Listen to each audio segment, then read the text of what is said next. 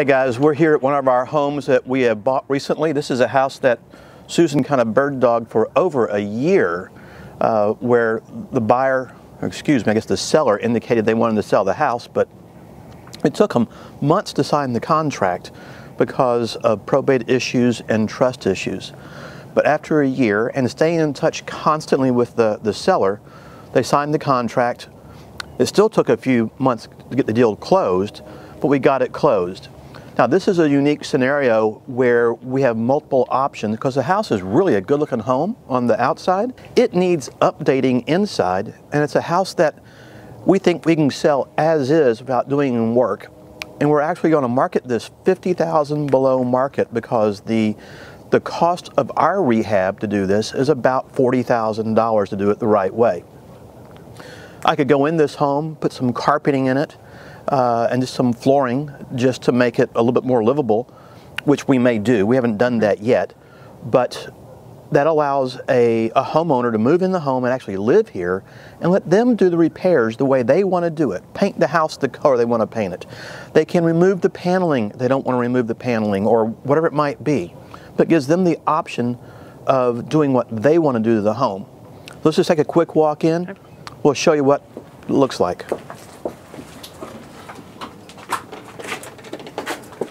Oh, well. So Susan, I think this is something we come in this house, if we want to do it right now, is let's see if a home buyer wants to put their own flooring down or not. Okay. The house is already clean. We don't need to paint it. There aren't any negative issues in it. And it's just letting them make the decision. But I think being 50,000 below the actual market price will attract a lot of people to do this. Yep.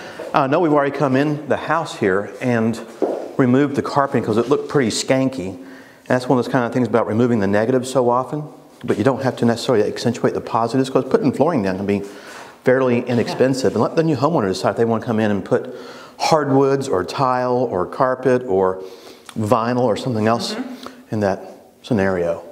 And I really love these. We're going to take those that's, down and bring them to your house. I don't think that's in that regard. But as you just go through, you know, this room has paneling in it, and some people like paneling. Some want to paint it white. Some want to remove it and do the sheetrock. And of course, we always love our acoustic ceilings as well. And you come back to the, the back of the home and the uh, bathrooms and whatnot. And the bathrooms aren't bad. They're just simply not updated the way we would normally do them by taking the wall out, making it larger, and, and going the... Taking the fur down and those lovely mm -hmm bulbs. But you come in, and of course, none of our lights work in the house, but it's the same thing. I don't know what they were thinking back in the 70s with this multi-tier bedroom, but it's what they did quite a bit. And again, the same thing here. But you know, if I was going to do this house, mm -hmm. I would actually take all of this out up here, uh, including the shower back in here, and I would put a whole wall right here to make this a larger, more uh, defined bathroom instead of trying to break it up like this mm -hmm. a little bit. And then just take the fur downs out, take the, the, redo the shower, bring it up to the ceiling and open it up a little bit more than what it is right now. Yeah. And go. But I like the wallpaper. Maybe we can keep that. What do you think? Mm, I think it would be perfect for this.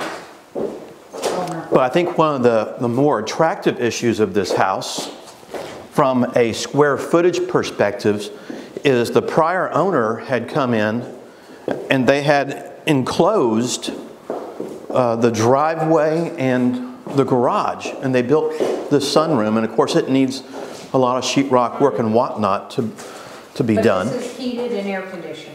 It is fully, that's the neat part. This room and the garage, which is right behind us here, is fully heated and, and air conditioned, which is unique. Mm -hmm. And you, of course, you can see where the garage door was, and I would take all that out and either put French doors across or something of that nature to make this open because this would be a, a, new ceiling. It needs everything in this one room. But what they did was, of course, they come in here and they actually leave the garage door in.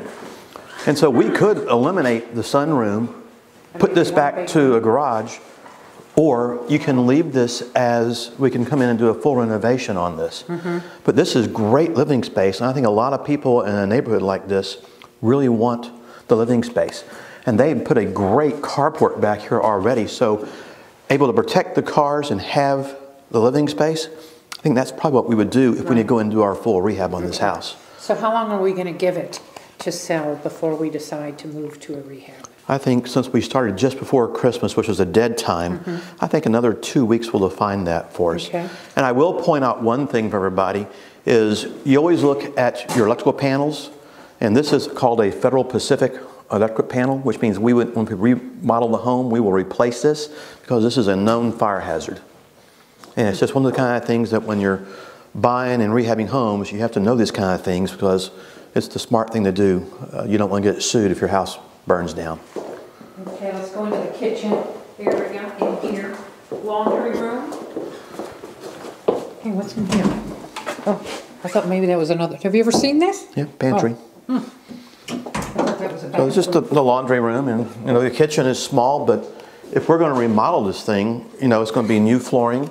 We're going to come in, take the fur downs out up here to get some more height in here, redo the countertops, paint the cabinets back white again, and do our usual rehab on all new appliances. The house has got huge potential either way it goes, and we'll just give it a few weeks. Maybe we get lucky, you know, and, and Okay. sell it as is, and then from there we'll start making some decisions and get this thing ready to go. Perfect. Hey guys, if you like this video and want more free information on owner financing, please subscribe to our channel and hit the notification bell to be notified when we post. Don't forget to like this post and ask me any questions on owner financing below. When you're ready to take the next step, head over to the ownerfinancenetwork.com and check out our in-depth course on owner financing.